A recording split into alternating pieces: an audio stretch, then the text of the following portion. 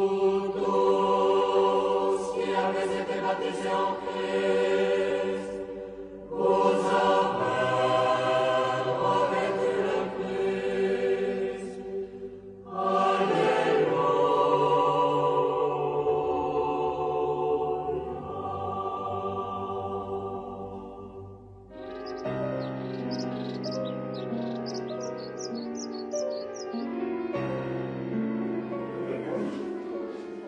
préfiguration au colloque sur l'image chrétienne, l'Institut de théologie orthodoxe Saint-Serge à Paris a proposé cette année une exposition des travaux d'élèves de l'atelier d'iconographie dirigé par Elisabeth Ozoline. Elisabeth Ozoline, vous êtes euh, responsable de l'atelier d'iconographie à l'Institut de théologie orthodoxe Saint-Serge à Paris. Et à l'occasion des manifestations du 90e anniversaire de la consécration de l'église de l'Institut, vous avez organisé une exposition d'icônes issues de votre propre atelier. Qu'en est-il exactement? Notre recteur, Monseigneur Job, m'a demandé d'organiser cette exposition pour marquer justement cet anniversaire. Au départ, c'était pas évident d'avoir tant d'icônes, mais euh, les élèves sont formidables. Ils ont amené toutes leurs icônes et toutes leurs œuvres et chefs-d'œuvre, et comme ça, on a pu organiser cette exposition. Je suis responsable de cet atelier, mais avant, j'ai travaillé à la ville de Paris. Il y avait un atelier et il y a des élèves qui m'ont suivi de là-bas. Vous êtes professeur d'icônes. Qu'est-ce que c'est pour vous qu'une icône? Votre question est très complexe parce que l'icône a plusieurs aspects. C'est pas seulement une peinture sur bois. Premièrement, c'est une expression de la foi qui est basée sur l'Église qui a élaboré pendant des siècles la théologie de l'icône. Il y a bien entendu aussi les différentes euh, écoles d'iconographie. Par exemple, si vous euh, regardez les, icônes de Russie, ils ont un certain style. Et je ne parle pas de celles de, Grèce qui sont très très fortes, parce que ça dépend peut-être des lumières, des lumières très fortes. En Russie, c'est comme un peu différent. C'est plus léger. Euh, si vous allez dans le nord, les rouges de Novgorod, par exemple, ça c'est aussi le nord, ils utilisaient beaucoup les couleurs rouges, les fonds rouges. Il y a Saint-Georges, et nous avons ici une icône qui est sur un fond rouge. Ça c'est typiquement les styles novgorodiens. Alors est-ce qu'elle doit traverser les siècles? L'icône parle de la sainteté, elle parle de au-delà. Alors on a inventé un style et ce style-là, il est partout le même. Et la structure de l'icône est pareille.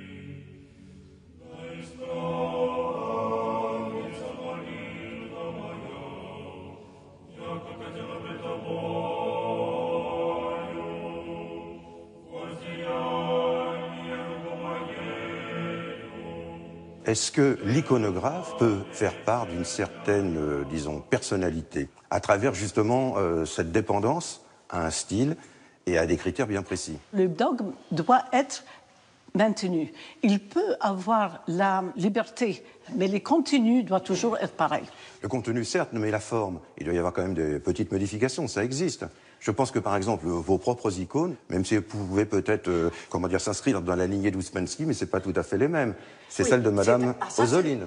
Oui, ça c'est heureusement que nous avons cette liberté, c'est-à-dire que c'est inévitable que chaque personne exprime quelque chose de lui-même. C'est la règle de tous les peintres même. Euh, de toute façon. Voilà.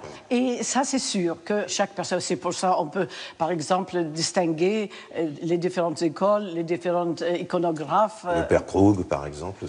Le père Krug. Oui, le père Krug et le Ouspensky, par exemple, il y avait son style. Euh, père Krug, son style. Oui, chaque iconographe a son style. Les icônes euh, de Léonid Osmansky se retrouvent sans difficulté. Je veux dire, on les reconnaît facilement. Tout à fait, tout à fait. Et de même que les vôtres aussi. Personnellement, euh, moi, je peux euh, les reconnaître grâce peut-être aussi à euh, une touche de blanc sous la forme d'un liseré, enfin, qui semble être un petit peu votre image de marque. Donc, toujours la même question. Finalement, à travers l'icône, vous pouvez quand même, en tant que peintre euh, oui. d'icône et iconographe, vous pouvez quand même exprimer votre propre sensibilité. Ça, Même si celle-ci doit s'inscrire dans un dogme. Oui, hein, et les- c'est inconscient, mais certainement Ouais. que ça vient. Par exemple, euh, on connaît les grands maîtres crétois au XVe siècle et tout ça. Ils ont leur style aussi. Vous voyez, ça, c'est- ça c'est sûr, oui. Donc pour vous, l'icône, c'est un symbole. L'icône ne, peut pas être un symbole. L'icône, elle représente la sainteté de quelqu'un qui a existé et qui a acquis pendant sa vie terrestre, il a acquis les dons du Saint-Esprit. C'est-à-dire que qu'est-ce que c'est ça la sainteté, quand on se débarrasse de son ego, qu'on commence à aimer son prochain, et qu'on a l'humilité, la paix, la bonté, la bienveillance. Et euh, quand on a tout ça, on commence à être déjà plus près du Seigneur. Et c'est ça qu'est-ce qu'on veut exprimer dans une icône?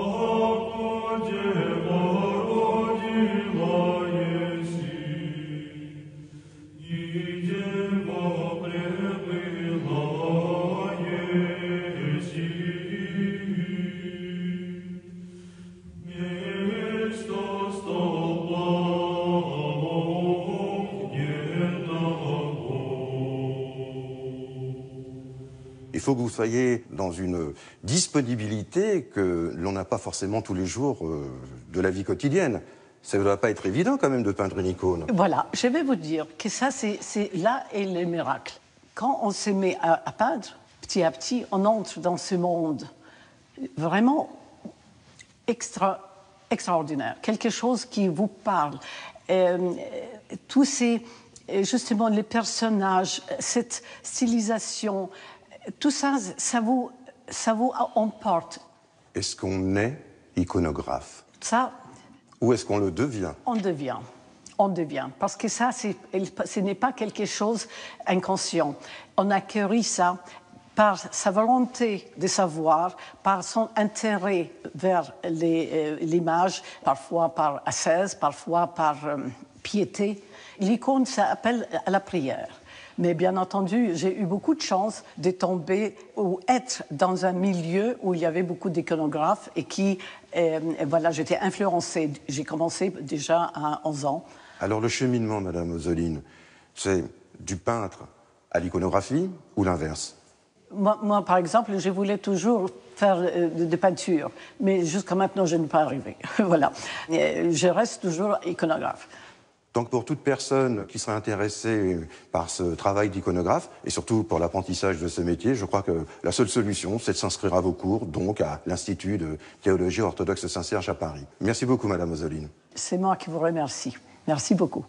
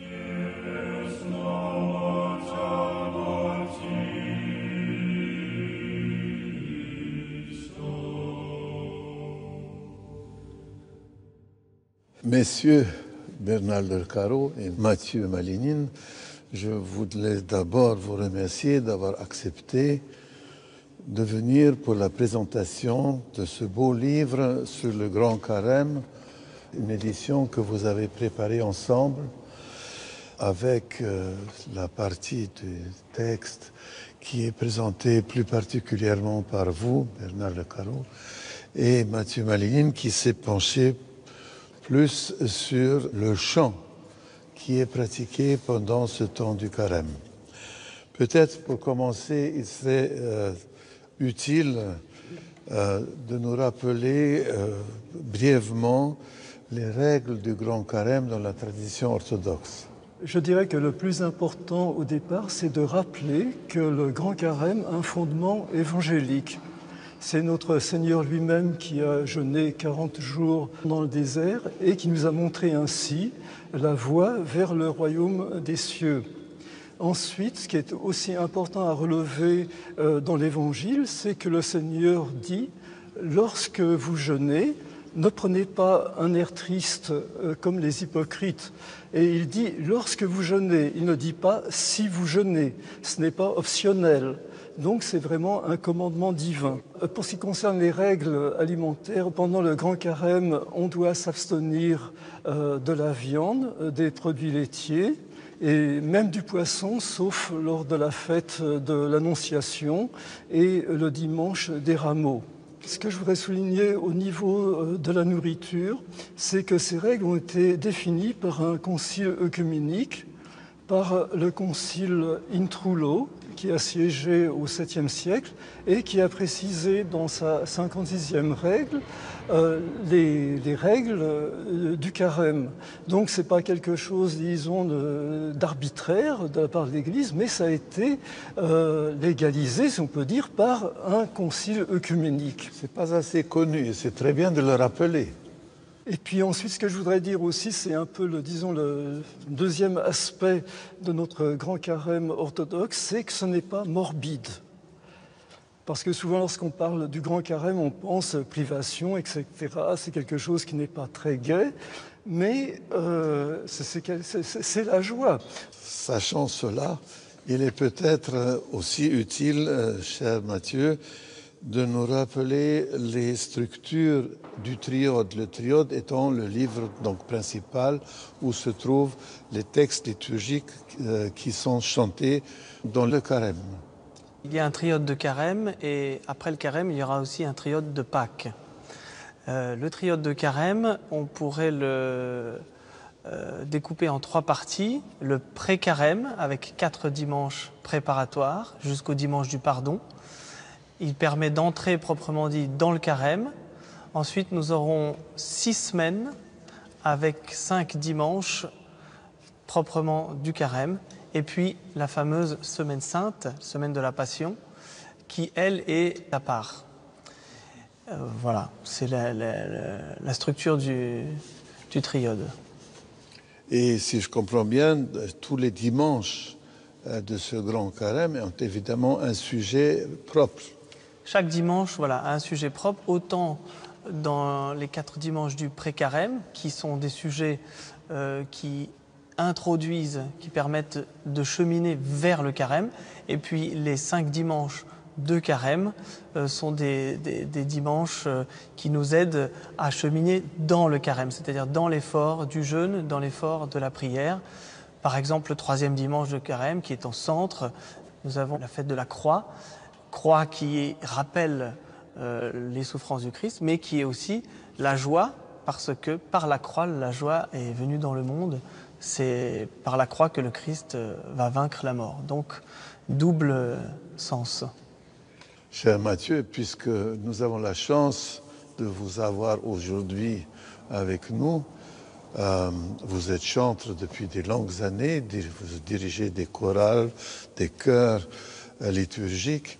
Euh, quand nous pensons au temps du grand carême, on pense volontiers au psaume euh, sur le fleuve de Babylone.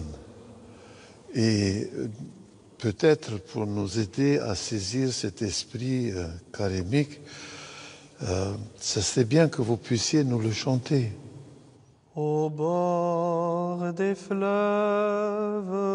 de Babylone, nous étions assis et nous pleurions au souvenir de Sion. Alléluia.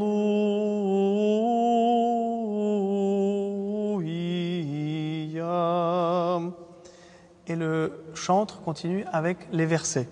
Au sol de leur rive, nous avions suspendu nos harpes. Et le chœur enchaîne. Alléluia.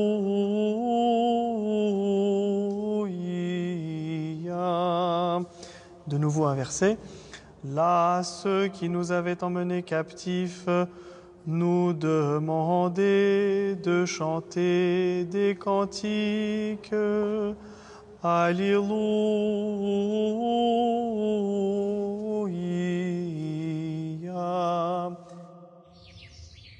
Je suis né en Bessarabie. C'est un, c'est une terre, euh, là où je suis né, cette partie de la Bessarabie, c'est une terre qui appartient maintenant à l'Ukraine. Je m'appelle Milkovic. Ma famille est d'origine russe. Ma langue maternelle est, le russe. J'ai vécu en Roumanie. Et je suis arrivé en France en tant qu'artiste roumain, jeune artiste roumain. Et je suis devenu français. Et pendant tout ce temps-là, je dirais dès, dès le début, non pas de- depuis ma naissance, mais depuis l'âge le plus tendre, j'ai toujours été artiste peintre et sculpteur.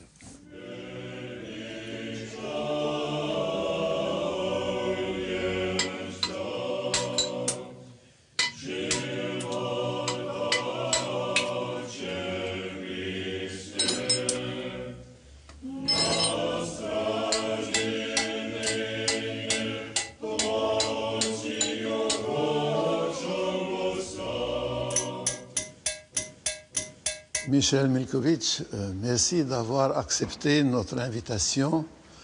Soyez le bienvenu dans cette émission pour nous parler de votre dernier livre, paru récemment aux éditions romaines à Nice, intitulé Le grand mystère, essai d'une anthropologie biblique. Vous avez trouvé le temps pour lire et étudier les spiritualités, on pourrait dire au début, après c'était la spiritualité orthodoxe et la théologie. Et tout cela a donné un résultat tout à fait surprenant qui est ce livre.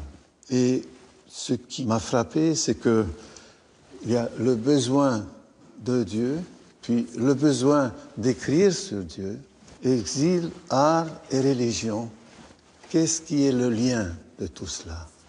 D'abord, l'exil, vous l'avez prononcé en premier et c'est, vrai. L'exil, euh, c'était une occasion que j'ai eue, inattendue dans ma vie, pour quitter le monde communiste sans passer le Danube, à la nage ou sans me cacher dans un bateau qui, allait à Istanbul du port roumain euh, sur la mer Noire. J'ai été j'ai eu l'occasion d'arriver à Paris euh, officiellement en tant qu'artiste peintre. À l'époque du dégel de Prague, on appelait ça le printemps de Prague, c'était la première fois qu'il sortait six jeunes peintres roumains, j'étais roumain à l'époque, dans une galerie à Paris. J'avais reçu le visa et je suis arrivé à Paris. Ça, c'est mon exil. Je ne suis plus jamais retourné. Ensuite, l'art, c'est parce que j'y avais consacré ma vie. Euh, C'était d'ailleurs mon métier. Et c'est par là que j'ai eu l'occasion d'arriver à Paris à cause de cette exposition. Quant à la religion, le problème est un tout petit peu plus compliqué parce que la religion, comme tout le monde le sait, elle vient d'un appel intérieur d'abord et ensuite euh, c'était aussi un concours de circonstances en arrivant à Paris. Mais tout de même, enfin, de la réflexion philosophique euh, à la foi, au mystère de la foi, il y avait quand même un pas à faire, n'est-ce pas? Euh, le pas que j'ai dû faire était évident puisque en arrivant à Paris, j'ai eu l'occasion, la chance de me faire immédiatement des amis. C'était un groupe d'étudiants en philosophie. Avec eux, grâce à eux, j'ai pu couvrir des années d'obscurantisme culturel que j'avais, malgré le fait que nous faisions partie des intellectuels dans ce pays-là. Mais la culture était censurée et grâce à ces étudiants, j'ai pu lire, étudier. Et comme c'était des étudiants en philosophie, j'ai pu lire la philosophie non censurée. Mm. Et à côté de cela, très vite, j'ai été obligé, grâce aux impasses auxquelles menait la philosophie, de m'intéresser au mystère de l'incarnation. Est-ce que, à ce moment-là, vous avez déjà entrevu un lien éventuel entre l'art et la religion? Mais j'ai toujours partagé en deux chapitres les deux aspects de l'art. L'art au service de l'Église et l'art, donc l'art sacré, et l'art tout court. laïque, tout court. L'art tout court. L'artiste, il doit se convertir. Alors, l'artiste, l'artiste doit, se convertir rien que pour donner la réponse que vous me demandez. Mhm. Le résultat final avait été pour moi euh, mon engagement conscient et militant dans l'Église. La dernière des trois manifestations commémorant le 70e anniversaire du martyr de Mère Marie Skoptsov de Paris eut lieu le 31 mars dernier. Elle était consacrée par les édiles locaux à l'inauguration d'une rue du 15e arrondissement qui portera désormais son nom. La chorale de la cathédrale Saint-Alexandre Nevski de Paris, sous la direction du protodiacre Alexandre Kedrov, chanta à plusieurs reprises au cours de cette célébration officielle.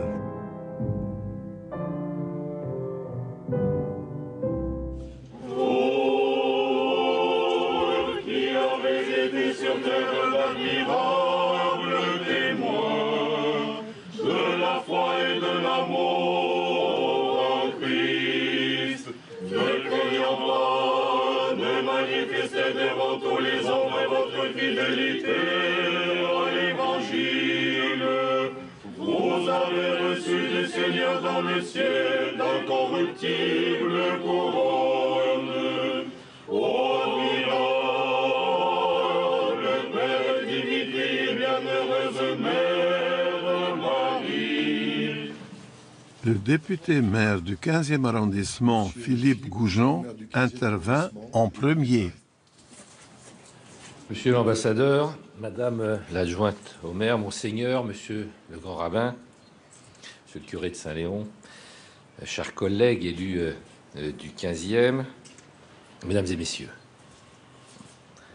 Au numéro 77 de la rue de Lourmel, au frotton duquel nous avons euh, inauguré avec euh, Guylaine Fonadonza, ancienne collègue, une plaque commémorative, où débouche d'ailleurs la rue qui va désormais porter son nom, vécue dans une maison dont elle avait fait le refuge des plus démunis, avant d'être elle-même déportée, assassinée au camp de Ravensbrück, Mère Marie Skoptsov, qui supportait et fait partager le secret de l'espérance jusqu'aux portes de l'horreur sauvant spirituellement ses compagnes de déportation de la déshumanisation nazie.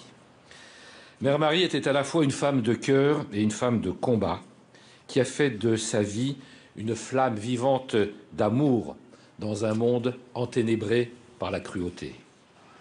Son engagement pour un monde plus juste prit tout d'abord une forme politique. Issue de la haute bourgeoisie, éduquée dans la grande tradition russe aux arts et lettres et aux humanités, complétée d'une formation théologique, elle fut une des premières femmes de son temps à suivre. Elle appartenait à l'intelligentsia de son pays.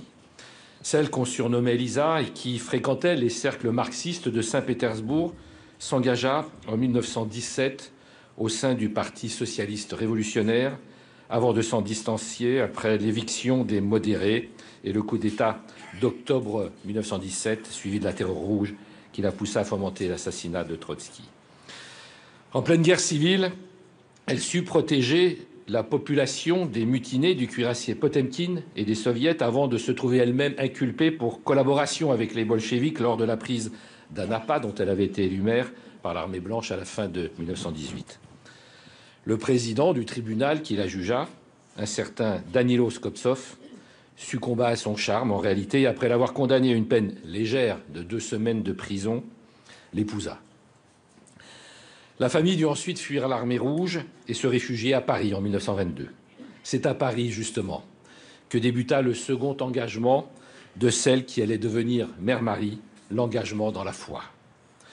Durant cette période d'exil parisien où la famille Skoptsov partagea les privations et les difficultés de ses compatriotes qui avaient fui la terreur des soviets, la mort de sa fille Anastasia en 1926 ramena à la foi celle qui s'en était éloignée. Élisabeth reçut alors ce qu'elle décrira plus tard comme une visitation, comprenant que sa vocation dans ce monde, dans ce monde terrestre, était de se consacrer à aider et surtout à aimer les autres sans aucune exception, suivant le précepte du Christ.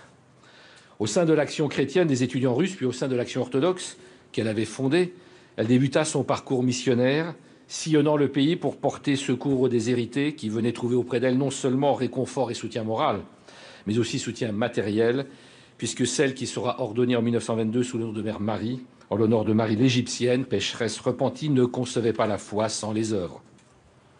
De l'engagement politique à l'engagement chrétien, Mère Marie fit de sa vie un combat pour les plus démunis et un combat pour l'amour et l'humanité.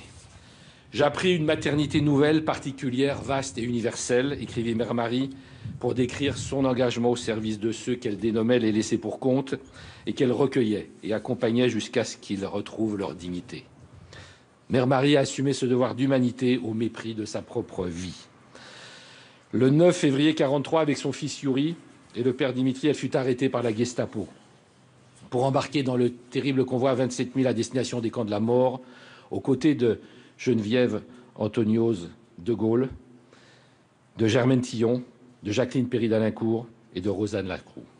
Canonisée comme martyr de la foi par l'Église orthodoxe, faite juste parmi les nations, Mère Marie parvint jusqu'au bout à mettre en échec la tentative monstrueuse du totalitarisme nazi de déposséder les êtres humains de leur humanité, prouvant ainsi par son exemple que l'espoir est plus fort que la mort. L'hommage que lui rend aujourd'hui la ville de Paris, jour même anniversaire de sa mort et 125e anniversaire de sa naissance, est à la hauteur de la reconnaissance que chacun doit avoir pour celle qui a contribué non seulement à défendre la France, son pays, mais aussi à défendre l'humanité tout entière au sein des camps comme dans la vie de chaque jour. Grâce lui en soit rendue ici, en ce jour. Je vous invite maintenant à rejoindre les porte-drapeaux pour le dévoilement de la plaque. Rue Mère Marie Skoptsov, 1891-1945, poétesse et artiste russe, religieuse orthodoxe, résistante, assassinée à Ravensbrück.